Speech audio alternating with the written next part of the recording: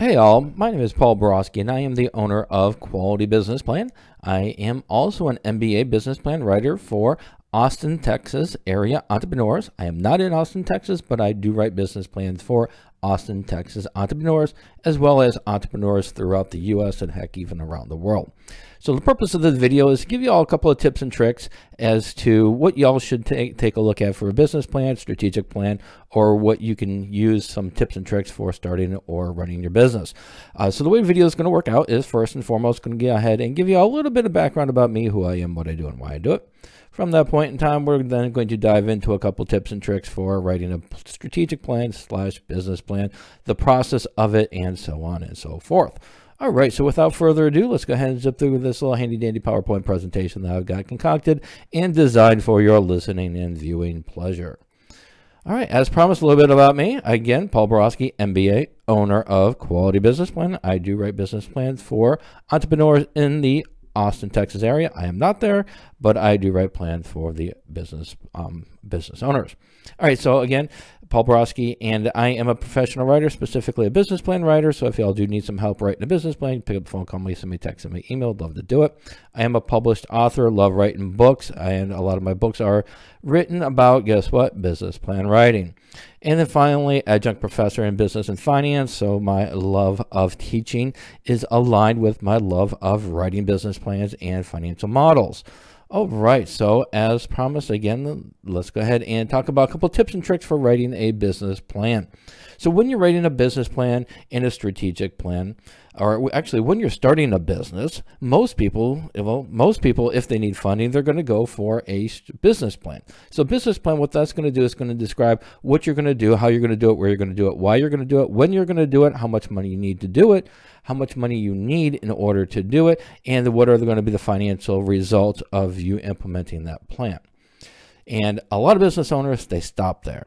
You've described your car, you described your Ferrari, you described your Lamborghini, and then nothing else. The second part of planning before you start a business or an expansion is your strategic plan. Now, the strategic plan is not going to be required for your funding and it's not going to be required by your landlord. However, it is a crucial document that business owners should have in order to ensure success. For the simple fact that you've got your car, but now you need to know where you're going. And how are you going to know where you're going? And you also need a destination. So you need your car, which is your business plan, but you also need the destination. And inside the strategic plan, your destination is going to be where you want to be in five years or three years.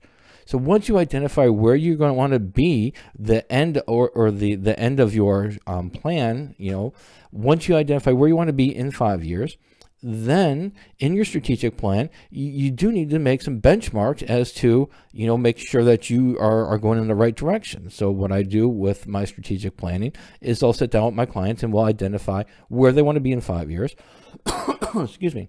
And then we're going to come up with benchmarks for the three year point, for the one year point, for the six month point, for the one month point, and once we make all those uh, all those benchmarks as to where you want to be in order to attain your vision, we then go back and we make sure that there's alignment, that your one month business um, your benchmarks align with your six month benchmarks, that align with your one year benchmarks, that align with your three year benchmark, that align with your five year benchmarks.